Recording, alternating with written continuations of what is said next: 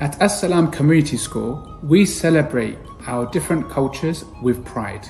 We are a UK curriculum school and we pride ourselves on having qualified staff well trained in the UK curriculum. This UK focus is complemented by over 50 different nationalities represented in our international body of students and staff. Together, this makes us a community. We believe that different nationalities, cultures, and ethnic influences should be promoted and that people should have confidence in their identity. This builds cultural intelligence and that allows us all to have empathy. And this empathy allows us to live in harmony in true Dubai spirit.